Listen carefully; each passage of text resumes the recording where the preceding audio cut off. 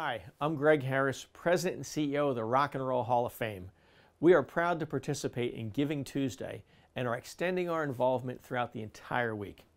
This global initiative invites individuals to give back and create change in their communities and in the world. The Rock and Roll Hall of Fame is a cultural institution with a global audience. We have an enormous responsibility to our community, locally and nationally. We engage, teach, and inspire through the power of rock and roll here every day but also through Rock Hall EDU, our education platform that reached 1 million students from over 100 countries during this critical time. We need your support to continue this great work. In addition to our massive digital outreach, it was outstanding to see so many fans returning to the museum in Cleveland this year. Together, we celebrated the legends every day at the Rock and Roll Hall of Fame.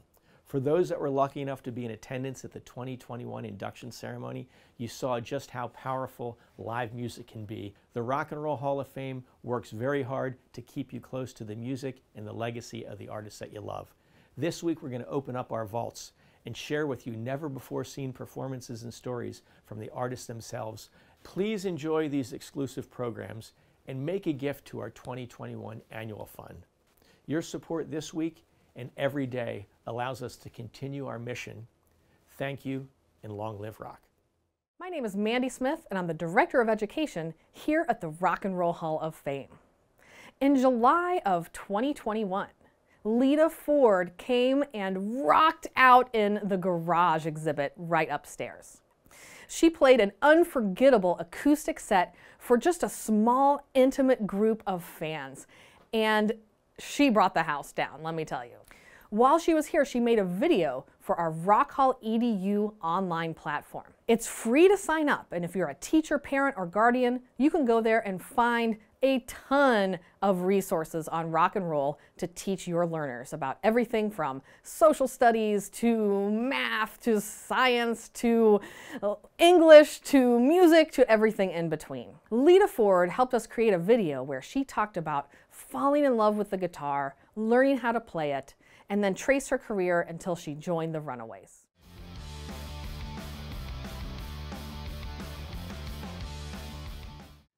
I started playing guitar when I was 11 years old. And uh, I just really, really wanted to play guitar. And uh, it was like 1968. And in 1968, girls did not play guitar. And uh, nobody, nobody ever told me, you know, that, oh no, girls don't do that.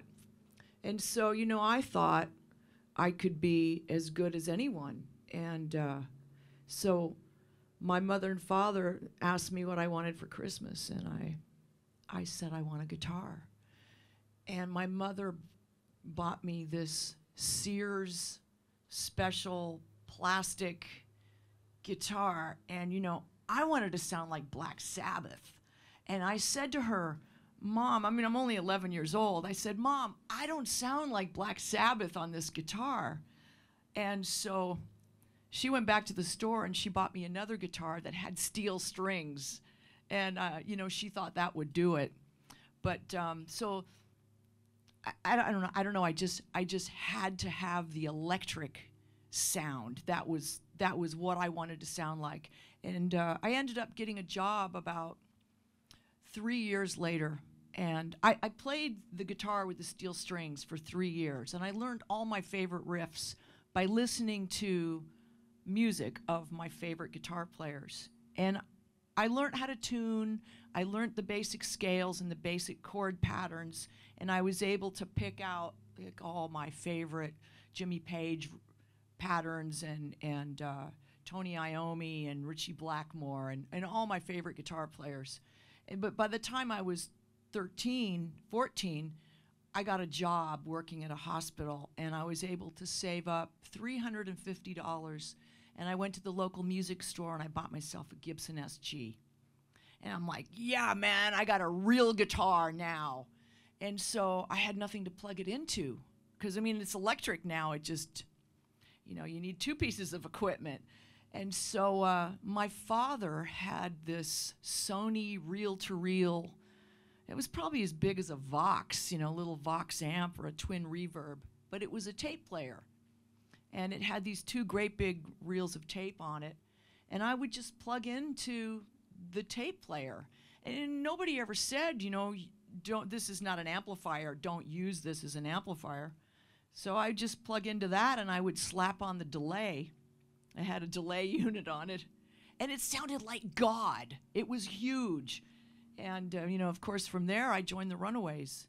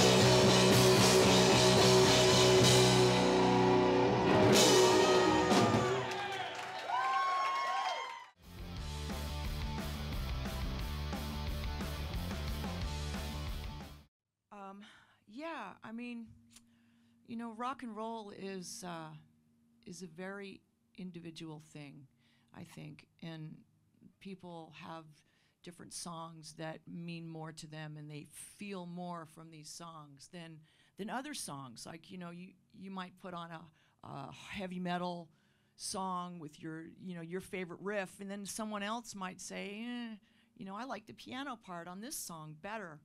So I, I think rock and roll is almost like um, it's it's just an individual thing that has to touch you in a certain way, and what touches one person might not touch another, you know. But for me, growing up, I always went for the riffs. I was always big riffs, and um, and that meant more to me than than any other part of the song. If the riff was there, I was going to hear it, and I wanted to see who was playing it, what were they playing, and how were they playing it. And then somebody might say to me, "Well, Lita, did you see the singer?" And I'm maybe no, I, I probably didn't. My, but I, I was so fixated on the guitar player, and uh, and so you know it's just growing up and learning and and um, those were always my favorite my favorite types of songs with those badass riffs. But that's just me, you know.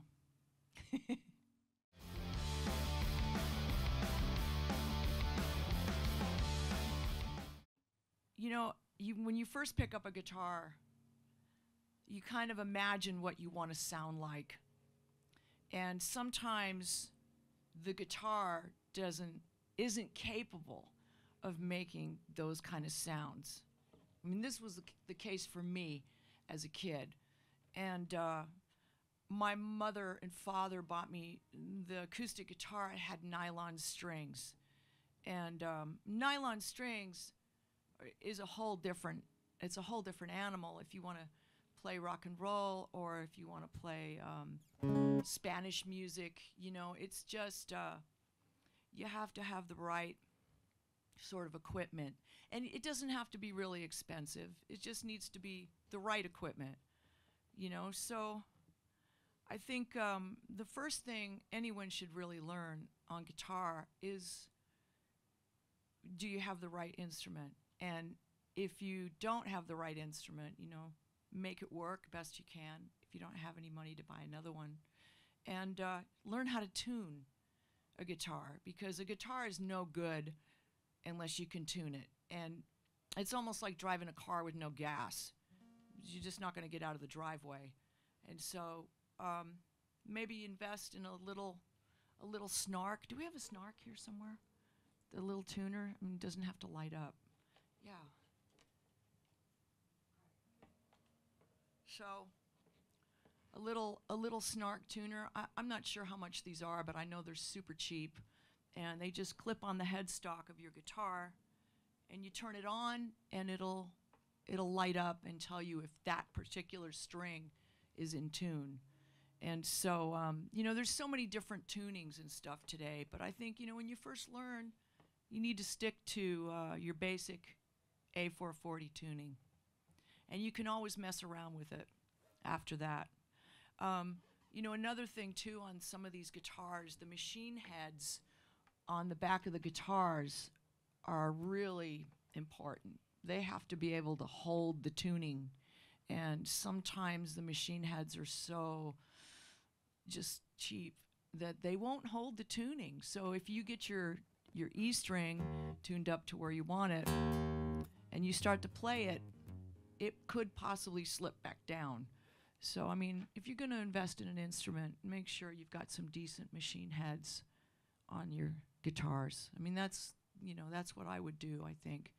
Um, you know, you need to make sure the the neck is straight and not bent. And you know, like sometimes people keep stuff under their bed for years and years, and then they, all of a sudden they pull it out and they try and play it, and it's all rusted, and the strings are rusted, and and um, and the frets are rusted, and the neck is bowed, and it's just like I can't play guitar.